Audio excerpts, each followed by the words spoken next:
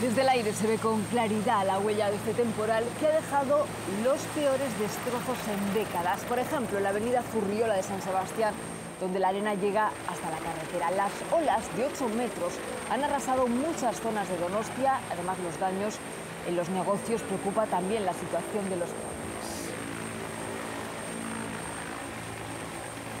Los afectados por el temporal de olas del fin de semana han empezado el día de hoy en el ayuntamiento, donde estaban convocados a una reunión informativa con los representantes municipales.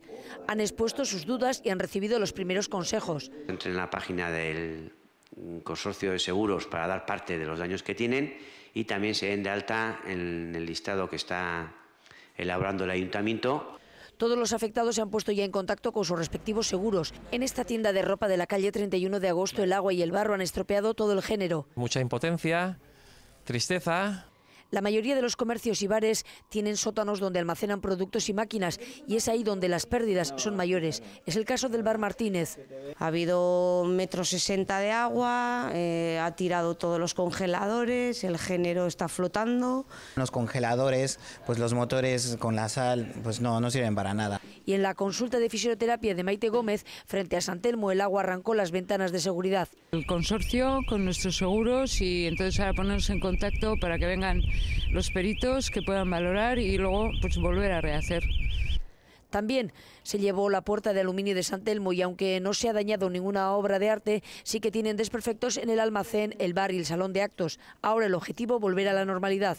A partir de mañana yo creo que podemos tener un funcionamiento más o menos normalizado. El acuario ha sufrido daños como todo el puerto de Donostiarra y en el Paseo Nuevo o el Paseo Salamanca hoy son muy visibles los destrozos causados por el mar. Completamente destrozado se encuentra el centro de talasoterapia La Perla y sus responsables cansados. cansancio, agotamiento y al final estás pensando quién hizo esto en la playa, ¿no? Comprensible el desánimo teniendo en cuenta que en los últimos 16 años el mar ha destrozado la instalación en siete ocasiones. No obstante, afirman que continuarán peleando para poner en marcha el negocio. En principio hoy es el día de reflexión, evaluar un poquito los daños y bueno, por las primeras impresiones que tenemos, yo creo que esta semana podremos abrir ya. En la playa de la Concha se encuentra también la discoteca La Rotonda. A primera vista nada parece recuperable. Hoy cuentan los daños, pero afirman sin dudar que abrirán lo antes posible. Sí, por supuesto.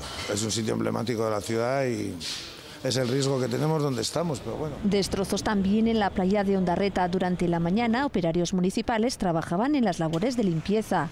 De momento sabemos que para muchos días vamos a estar aquí. Para evitar riesgos, cerrado el paso al paseo de Ondarreta que se encuentra muy afectado. Daños materiales importantes también en el restaurante Branca y el tenis, donde la fuerza de las olas se ha llevado uno de los muros. Cerrados también los accesos a la playa de la Zurriola. Han pasado 24 horas y los donostiarras siguen asombrados por lo sucedido.